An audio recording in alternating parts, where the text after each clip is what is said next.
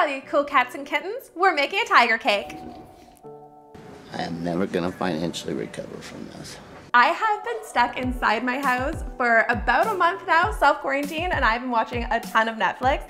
The latest series I started watching was The Tiger King with Joe Exotic, and I felt like I had to make a tiger cake. But this cake isn't just gonna look like a tiger on the outside. When you cut the tiger open, instead of finding Carole Baskin's husband, you'll see a tiger pattern.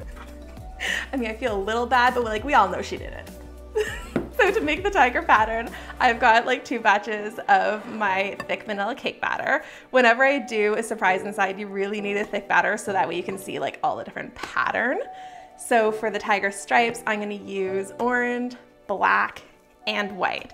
So I'm gonna divvy this up, color my batter, and then we can start making that tiger pattern.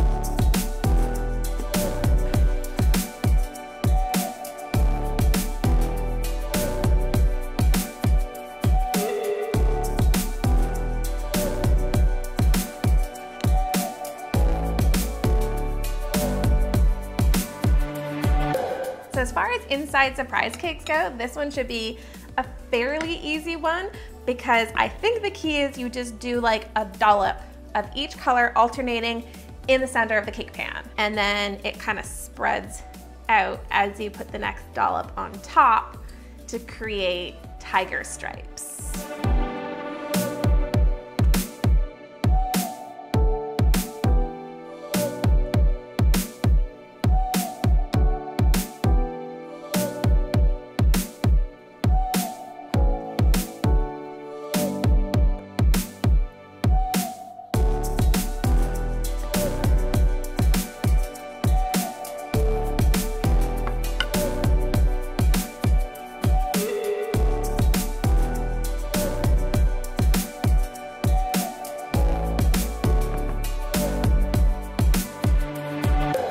I just did the exact same thing with my second cake and now I'm just praying to the cake gods that it worked.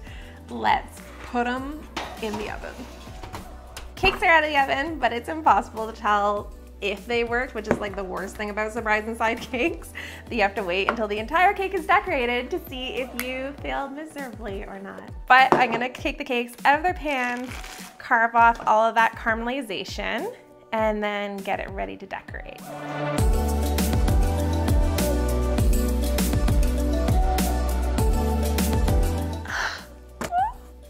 Calm down a little bit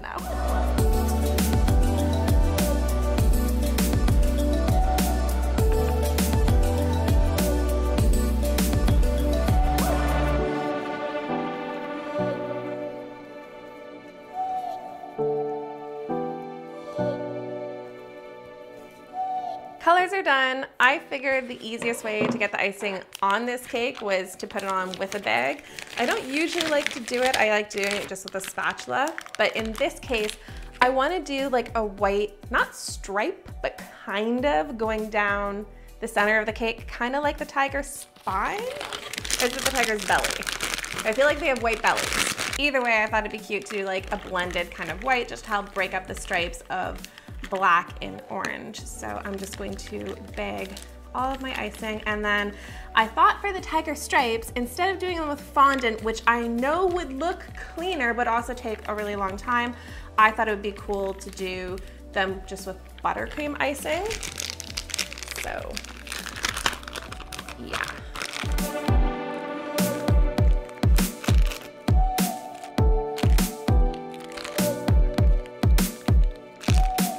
Tiger King has to be one of the strangest, weirdest things I have ever seen. If you guys haven't seen it, you should watch it. It is quite the roller coaster.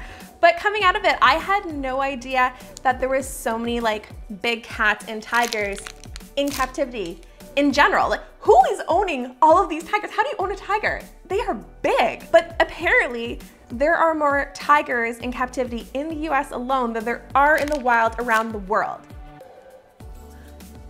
If that is a true metric, that is absolutely insane.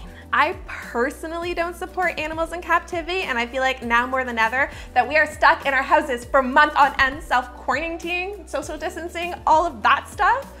Um, we know what it's like that we can survive in, in a box, but we're not really living. Which sucks. But I'm so curious how you guys feel about animals in captivity. Let me know down below.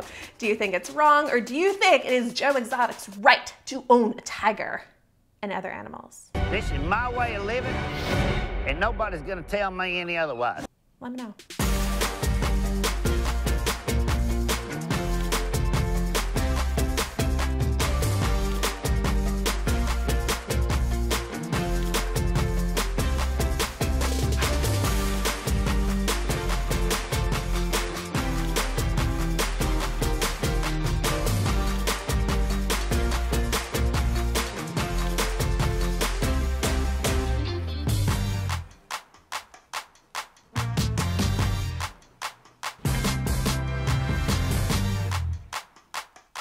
I am not completely happy with that. I don't really know what I was looking to accomplish, but I kind of wanted something just to break up the stripes. I thought if it was just orange and black, it would just be very orange and black.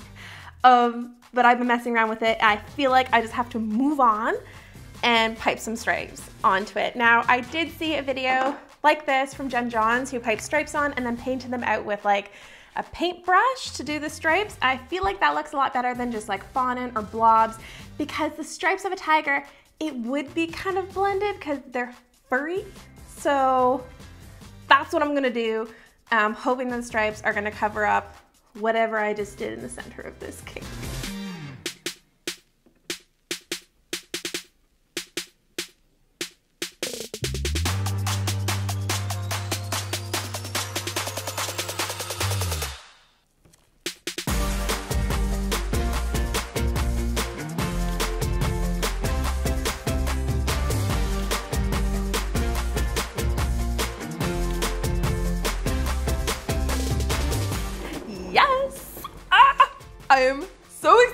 Turned out. Now let's cut it open and see if it looks like a tiger on the inside and the outside. If you guys have not subscribed, make sure to subscribe and hit that notification bell. Cue sexy B-roll.